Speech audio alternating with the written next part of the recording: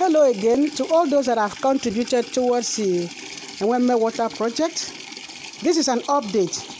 So far, we have managed to get the water to get this. You can see this connection. It's not a perfect thing, but because a former way it, it, it, it we fetch the water, it was wasting the water. So I thought of how to control the water from being wasted, and I arrived at providing this tank, this um, then I provided a pipe so you can see that the pipe had been laid on the ground from here. Initially, this was where the stand of the water.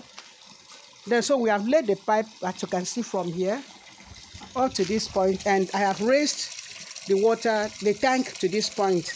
It isn't a final thing, but it's better than what it used to be. So, in this way, people can queue up.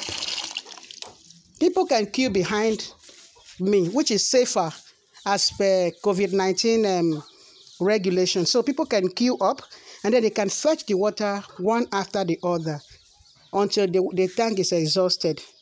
The most challenging thing we have now is that the generating this generator we used in pumping it is not doing well.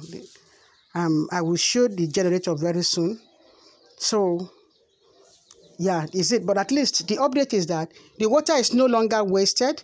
We now have this tank, this one tank. I think the tank is about 200 liters of water, as you can see there.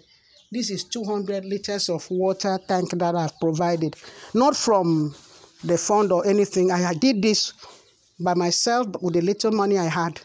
So at least now it's better than what it used to be, and I'm happy with this.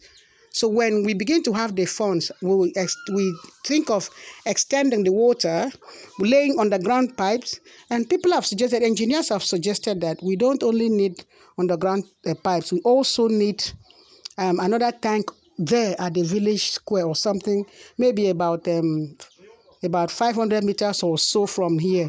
We need to have another tank so that it will kind of depopulate the, the people coming around there. Sometimes they come and fight because there are too many.